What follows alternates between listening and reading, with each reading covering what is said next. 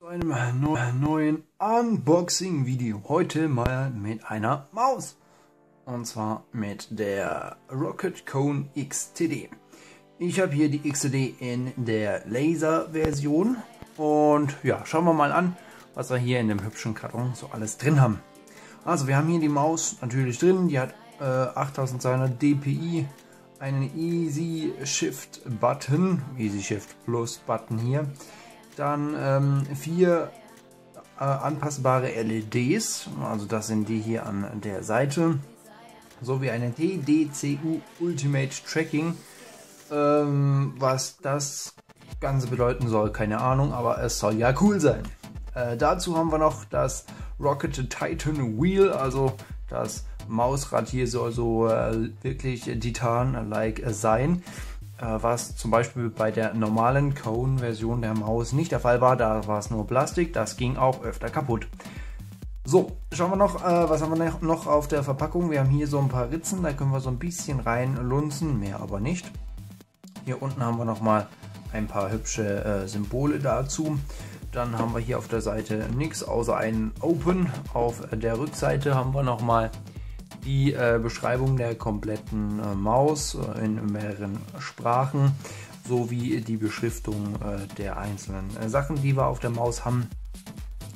Ähm, wir haben hier zum Beispiel einen 32-Bit äh, auf 72 MHz getakteten Turbo Core V2 Prozessor drin.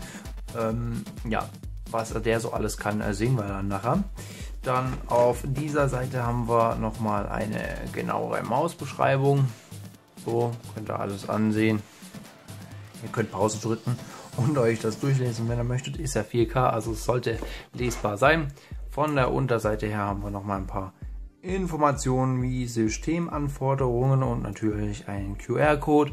Also wenn ihr jetzt Pause drückt und diesen mit eurem Handy abscannt, dann kriegt ihr die Maus normalerweise auch raus. Ähm, von oben haben wir dann nur noch mal das Ganze in kleiner, was auf der Vorderseite drauf ist. Äh, hier haben wir auch nochmal äh, die Anmerkung, dass 4 mal 5 Gramm Gewichte drin sind. Mehr nicht. So, machen wir mal das ganze Ding auf. Das geht hier so einmal auf. So, wir haben hier die hübsche Maus, dann haben wir hier die Gewichte und nochmal einmal zur Seite genau die Beschreibung der Maus sowie ein hübschen, hübsches Bild von den Chips, die verbaut sind und so weiter nichts äh, ja, Außergewöhnliches jetzt, sage ich mal. Das Einzige, was außergewöhnlich für diese Maus ist, wir können sie hier so aufklappen. Das war bei der alten Cone nicht der Fall. Da war dieser Deckel hier weg, da konnte man so direkt drauf sehen. Okay, packen wir mal die Maus hier aus. Äh, open hier. Das hört sich gut an.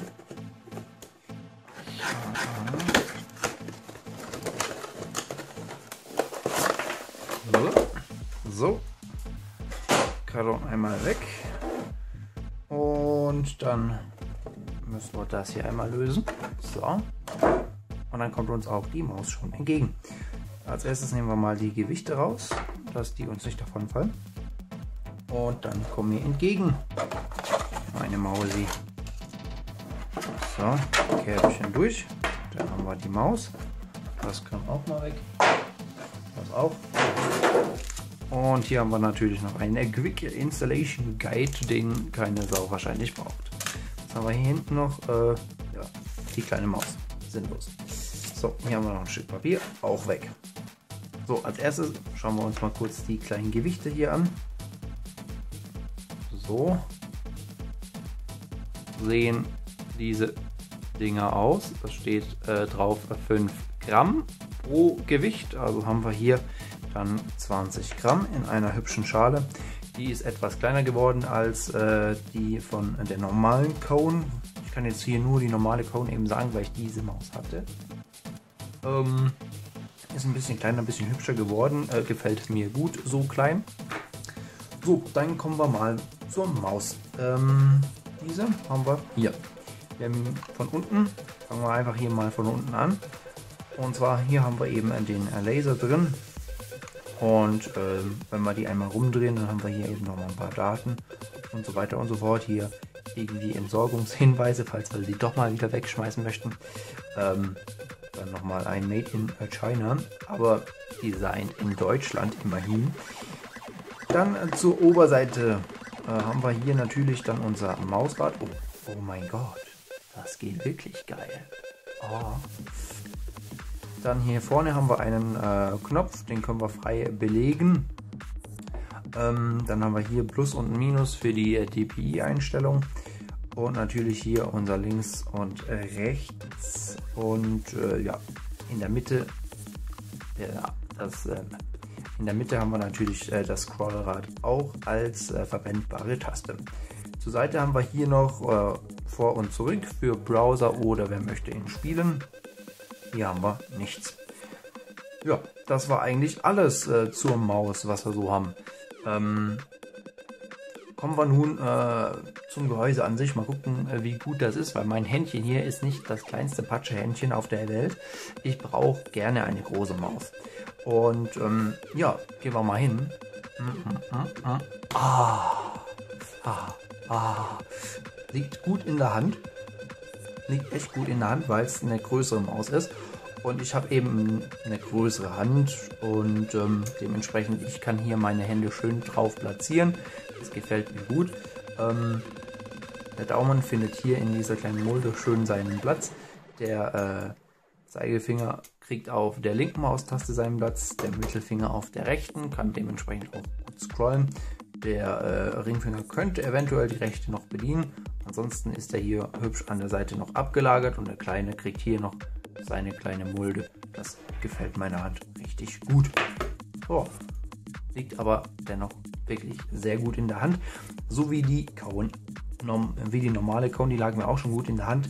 Die äh, ist aber nur mit der Zeit nicht mehr so toll. Denn ähm, bei der Kauen äh, an sich äh, hat sich hier an den Mulden, da wo mein Daumen immer lag und vor allem hier, wo mein kleiner Finger immer lag, ähm, der, der, die Gummibeschichtung hier ein bisschen abgenutzt. Und dementsprechend sah das dann nicht mehr ganz so toll aus, ein bisschen versifft, würde ich mal sagen. Ähm, denn wenn man ein bisschen schwitzt, vor allem im Sommer, dann nutzt es hier sich brutal schnell ab. Ich bin mal gespannt, wie lange die hier hält. Ähm, aber äh, sieht schon mal gut aus. Was hat sich verändert äh, zu der normalen Kauen? Äh, wir haben natürlich hier eine unsere äh, LED-Streifen beibehalten. Die können wir natürlich von der Software her wieder frei anpassen. Was sich verändert hat, ist das Rocket-Logo. Das haben sie hier jetzt in Silber drauf gedruckt äh, mit dem XTD-Logo unten drauf. Ähm, bei der normalen Krone war hier das kleine Rocket-Logo sogar noch beleuchtet. Ist jetzt hier nicht mehr der Fall. Schauen wir uns mal das äh, Titan Wheel genauer an. Und zwar haben wir das hier. Das geht nämlich wunderbar. Nicht zu äh, schwer und auch nicht zu leicht. Es geht eigentlich relativ gut, ähm, muss ich mal sagen. Und was mir gefällt, sind diese äh, Rillen drin, dass man äh, schön die Haftung auch hat, auch wenn man mal schwitzige Hände hätte oder so.